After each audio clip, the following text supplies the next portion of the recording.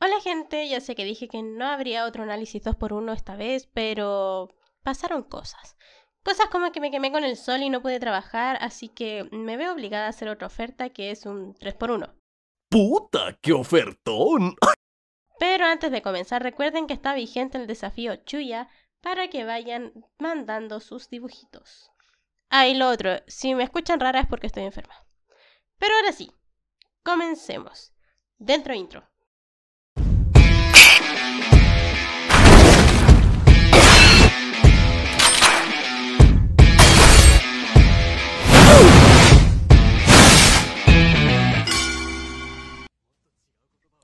Capítulo 8 comienza con mi juzgando Chuya rescatando a la agencia y haciendo una lluvia de balas contra los perros de casa. Le arroja cuerdas a los de la agencia y estos suben. La agencia no se la cree y Chuya les dice que no sean tontos, que es un trato con su jefe a cambio de que uno de ellos se pase a la mafia. Kunikida sigue en negación y dice que los ideales por sí solos no son suficientes para salvar vidas. Y el resto de la agencia se pregunta si se golpeó la cabeza. Kunikida piensa que si mueren sus compañeros perderá sus ideales. Pero sus pensamientos son interrumpidos cuando Kenji es atravesado por una espada, que esta además se dobla por la punta como un arpón. Techo utiliza esto para acercarse al helicóptero. Chuya se da cuenta de que el objetivo es el motor del helicóptero y Kunikida al ver esto se lanza y patea a Techo lejos de este. Da un discurso sobre cómo sus ideales no caerán y hace aparecer una granada para explotar junto con Techo ante los ojos de Tanisaki. Tenemos un salto en el tiempo de dos días y esta vez volvemos al lugar de los hechos y es que Atsuchi y Kyoka se escondieron ahí todo este tiempo logrando escuchar lo que pasó con Fukusawa y Kunikida por parte de los investigadores. Kyoka le dice que deben preocuparse por sobrevivir y es así como vagan por Yokohama.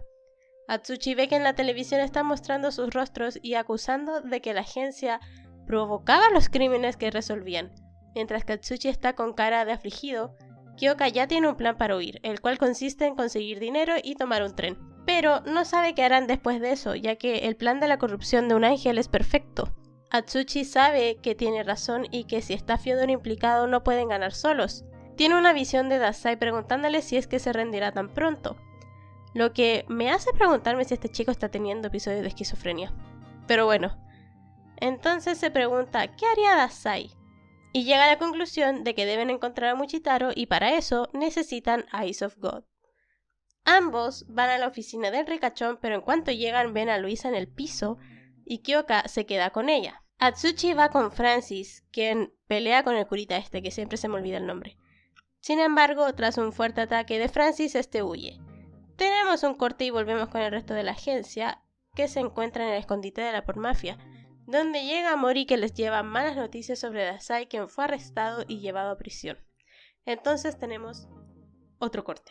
Francis se burla de las palabras de Atsuchi, ya que no cree que la agencia sea inocente, pero como que cambia de opinión cuando Atsuchi menciona a Fyodor. Pero dice que es imposible que ganen y que Fyodor se encuentra en Mersault, una prisión europea para gente con poderes.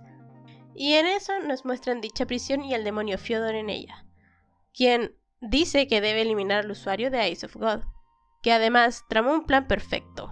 Volvemos con Francis que va a tomar la pluma que lanzó y que quedó incrustada en el televisor. Pero eso era una trampa. Y es atacado por el poder del curita. Sin embargo, es salvado por Kyoka quien activó los rociadores porque recibió un mensaje en unos monitores. Todo eso fue un plan maquinado por Dasai, quien ahora también se encuentra en Mersault. Así que sí, se dejó atrapar. Llegamos recién a la mitad de este capítulo y nos muestran que Taneda sigue vivo, pero que está grave. Lo importante de esta escena es que Taneda sabía que era una trampa y que accedió solo para obtener la información. Además de que Ango sabe cuál es la habilidad del culpable. Sin embargo, nos muestran esta escena de Rampo y digo yo, Ango sabe todo de la agencia, ¿no le parece raro? Sospechosa la weá, weón. Ango dice que se quedará al mando y recuerda que el jefe Taneda le dijo que si encontraba la corrupción de un ángel, los mmm, eliminara, sin importar si eran buenas personas. La cosa es que Ango dice que se encargará él mismo de eliminarlos. No sé ustedes, pero yo no le veo muy capaz de hacer eso. Es que nunca lo vimos matar ni una mosca. Sí lo vimos ser un traidor, pero nunca lo vi eliminar a alguien, así que pues, lo dudo. Cambiamos de escena y volvemos a la cárcel. Y es que Fyodor y Dasai juegan a las preguntas y de primeras hacen preguntas bien pendejas, como por ejemplo, ¿cómo seducir a la camarera? Pero la pregunta más importante es cómo se comunican con el exterior. Y esta la formulan al mismo tiempo. Y concluyen que quien descubra cómo lo hacen será el ganador, pues le pedirá a los de fuera que eliminen al otro. Tenemos otro cambio de escena. Atsuchi y Kyoka finalmente logran dialogar con Francis y le cuentan sobre Mushitaro. Francis está de acuerdo, pero no será gratis. A cambio, quiere que Yosano salve a Margaret, para que ésta pueda detener al Kurita. Atsuchi, al ver las intenciones de Francis, se niega, pero antes de que se vaya, Francis le muestra el estado actual de Margaret. Quien se encuentra en coma al ver el terrible estado de esta, Atsuchi acepta el trato y suben a una ambulancia para poder llegar hacia donde está Yosano. Volvemos con el resto de la agencia y Yosano le reclama a Mori ya que la mafia no los ayudará a demostrar su inocencia. Mori aclara que la petición de Fukusawa no es esa, sino que era protegerlos, todo a cambio de que uno de ellos se pasara a la mafia.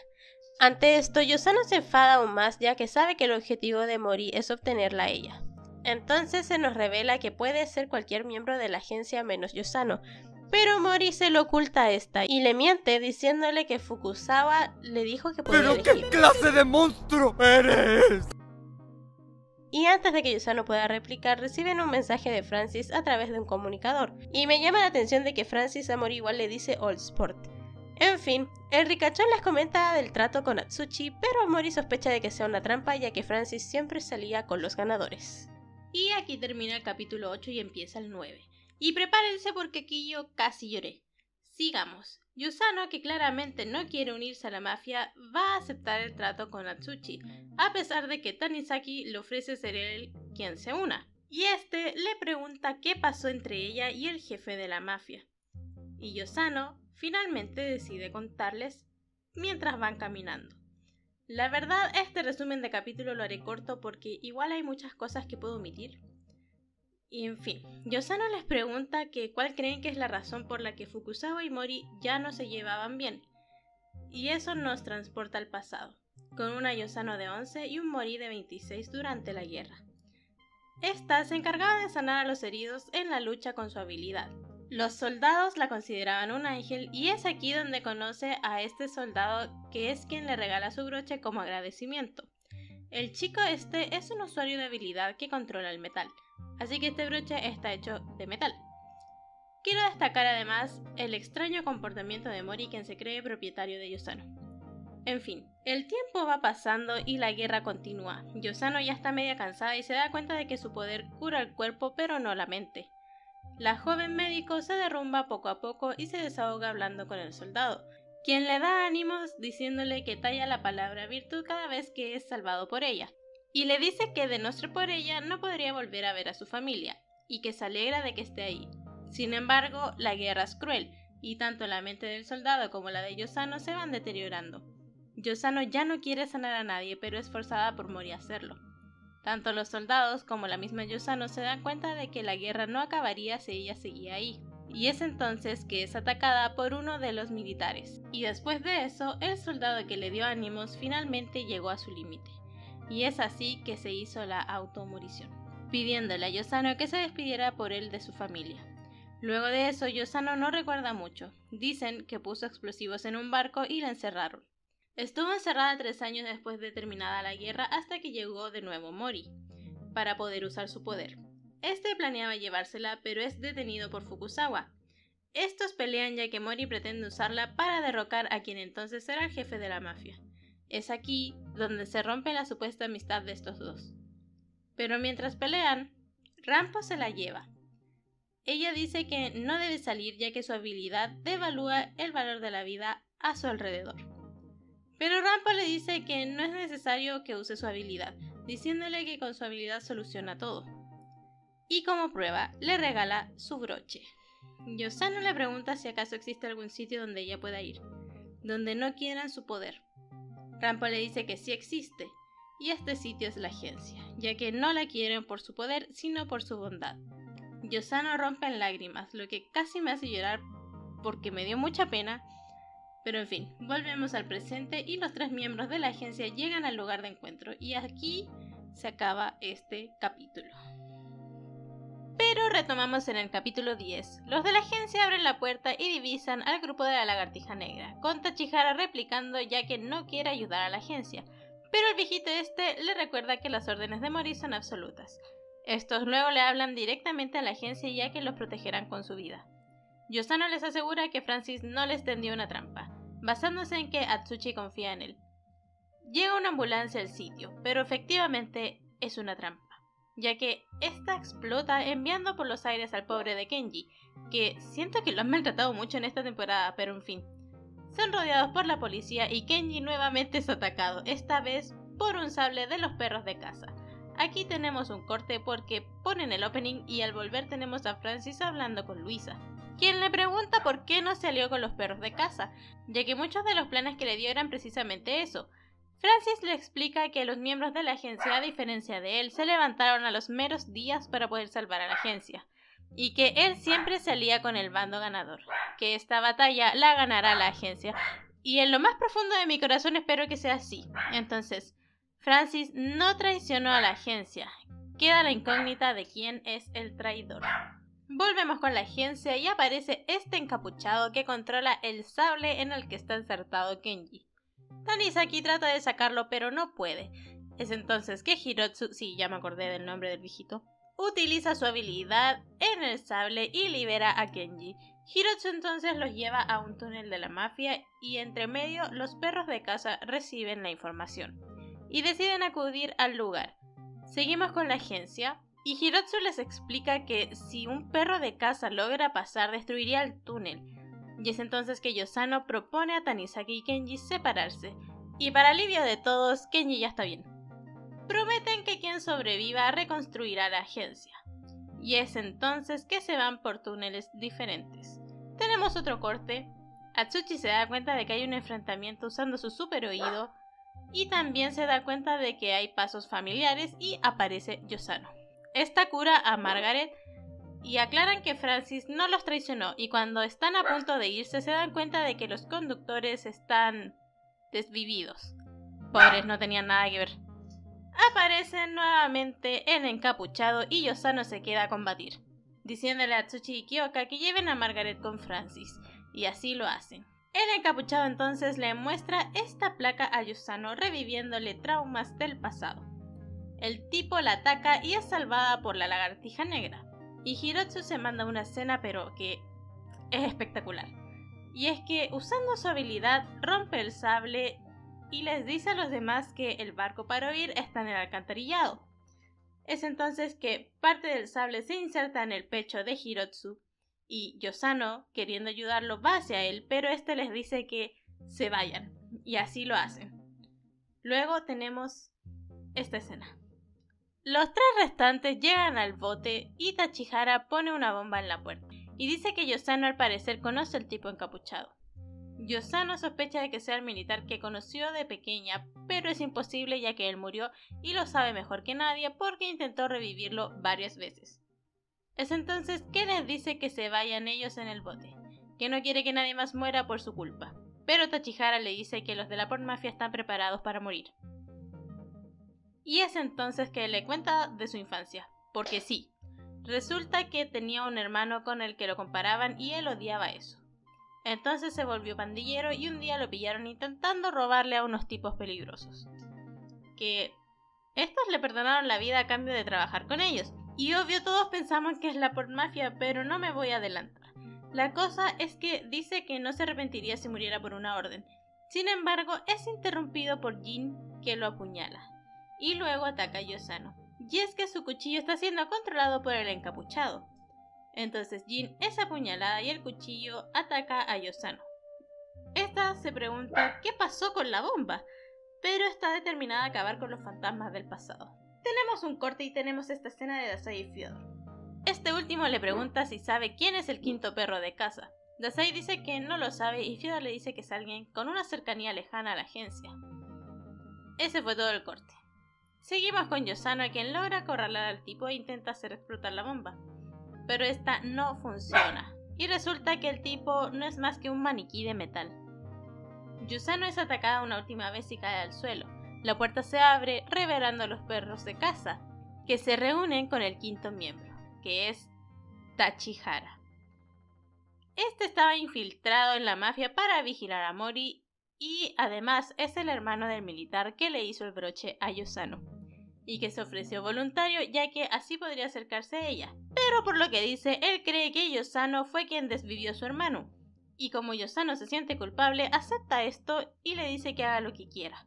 Es así que Tachihara le apunta y escuchamos un disparo, pero no vemos nada porque así acaba el episodio. Tengo mucho que decir en esta parte del análisis y es que lo primero que voy a decir es que se abarcaron muchos capítulos del manga. De hecho, abarcan desde la mitad del 62 hasta el 68. Tengo sí algunas quejas y es que en el manga salía esta escena cuando Mori les contaba lo de Dasai. Y para mí fue súper dramática porque cuando leí el manga quedé justo en ese capítulo y me acuerdo que le hablé por chat a mis amigas y fue como, weón, atraparon a Dasai. Esta imagen para mí fue súper pero es que muy impactante. Y esperaba realmente verla animada, pero me decepcionaron. Y mucho.